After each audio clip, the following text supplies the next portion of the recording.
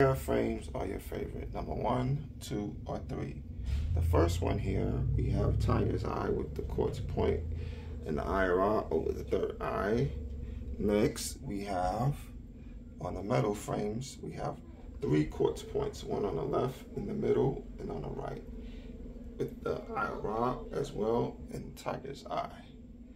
And the third is the Capricorn, which has clear quartz and rose quartz. Let us know which is your favorite. Like I said, this is the Capricorn. You can see that right there. All right. So what is your favorite choice? Number one, two, or three? Please place your comment in the comment section.